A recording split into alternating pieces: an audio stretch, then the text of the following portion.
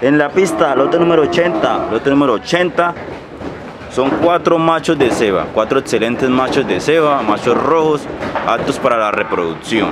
El peso total de ellos es de 1270 kilos, 1270 kilos. El peso promedio de cada uno es de 317 kilos. Cuatro machos de ceba procedentes de Puerto Boyacá. La base para ellos es de 7 mil pesos.